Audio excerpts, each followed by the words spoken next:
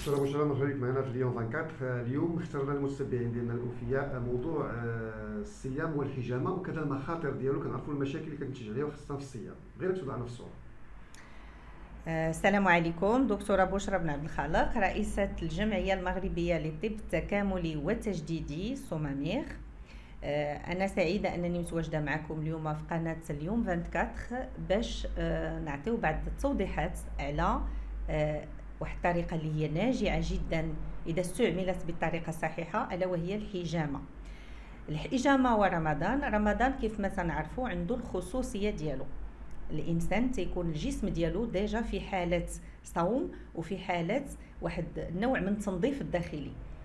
فيمكن لنا نعملوا حجامة في رمضان ولكن بضوابط. بضوابط علمية وبضوابط على حسب الطرق المعتمدة عالميا بالنسبة للمنظمة العالمية للصحة اللي آه، سمحت أن هذه العمليات دار بهذه الطرق هذه. أول حاجة كيف ما قلنا خصها تكون في واحد المكان آمن. العلاش لأن أول حاجة هي السلامة الصحية لهذاك المرتفق ديال العيادة اللي كيطلب العلاج بالحجامة. كذلك خصنا نوضعوا التشخيص والذي يضع التشخيص هو اللي تيكون طبيب أو الأعوان ديال الطبيب. يعني آه، هنالك أناس اللي هما مختصين في أنهم يعملوا هاد العمليات الحجامة من بعد تشخيص اللي هو اللي كيكون الأساس. بمعنى حنا كنعدو هاد الحجامة هي طب تكميلي وليس بديل. بديل يمكن أنه يخلق واحد الخلط في, في عند التفكير ديال الناس بحيث غنحيدوا الدواء وغادي نعملوا غير الحجامة وغادي تعطينا آه، واحد النتيجة. هذا خطأ ومثلا لا ينصح به. آه، المرضى اللي تي اللي تيطلبوا آه، العلاجات بالحجامة. كان كنشرحوا لهم وكنفسروا لهم بالتدقيق بأنه طب تكميلي يكمل العلاج الكلاسيكي أو الطب الكلاسيكي و la médecine conventionnelle اللي تعلمناها في كلية الطب واللي كتبقى كيف ما قلت الأساس في التشخيص لأن باش نعملوا تشخيصات الأمراض تيخص لابد واحد الفحوصات مجهرية واحد الفحوصات ديال المختبر كذلك راديويات إلى آخره. وهادو ما يمكن يقوم بهم إلا إنسان اللي درس دراسات آه، معمقة في الطب. آه، كيف ما قلنا من غير الإسعافات دور الحجامة مهم بزاف في رمضان بحيث في ذاك الوقت اللي كيكون الجسم هو تينظف نفسه.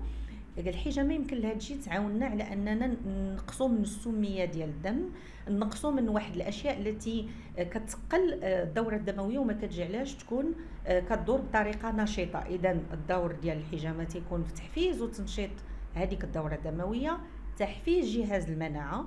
هنالك مواقع اللي مختصة أنها تحفز جهاز المناعة والدفاع الآلي ديال الذات ديالنا. آه، كذلك هي عندها دور كبير في تنظيف الكبد من السموم من المعادن الثقيلة.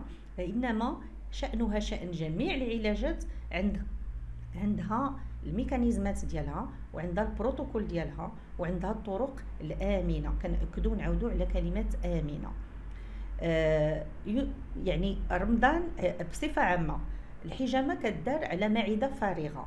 فرمضان هو ماشي واحد المانع ديال الحجامة إنما كاين بعض آه، الضوابط بحال اللي شرحت قبيلة اللي ملي كيقوم الإنسان بالفحص الأولي قبل الحجامة لأن لابد من فحص أولي وكذلك نشوفوا تحاليل. ما كنجيوش وكيتم الحجم يعني حجم لأي واحد. هاد هاد الطريقة بحال اللي قلت كتساعد بزاف في تخفيف الالام في تخفيف الصداع آه، أو ما يسمى الصداع النصفي أو الشقيقة.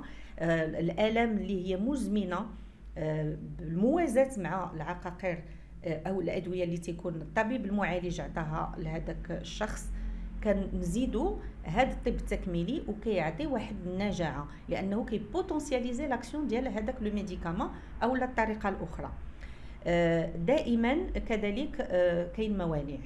فين ما كنذكروا شي طريقة كيف ما كانت النجاعة ديالها هنالك موانع اللي مضبوطة واللي مسطرة.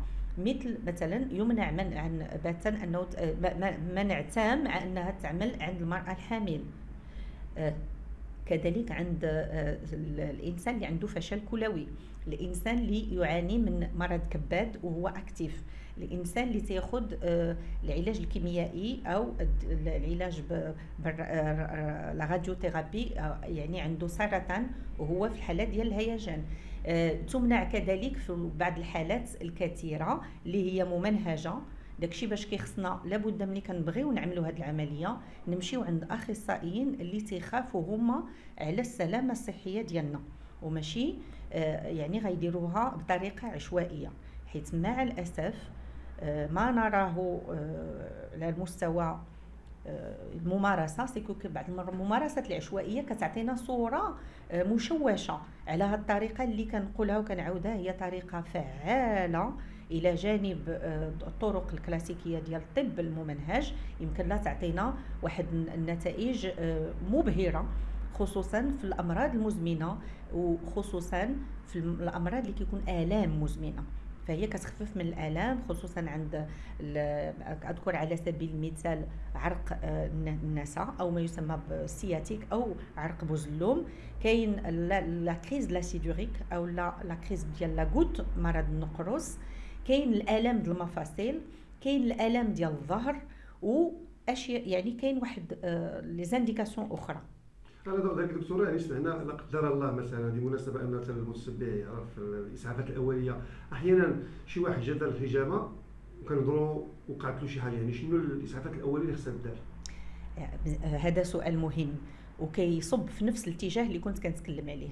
آه، الإسعافات الأولية باش نعملوها كيخصنا نكونوا في واحد الفضاء اللي فيه طرق إسعافات. يعني عندنا واحد آه، la bonbonne d'oxygène قريبة عندنا واحد الأدوية سواء تكون سائلة أو لا عقاقير اللي كيمكن لنا نسعفوا بها المريض.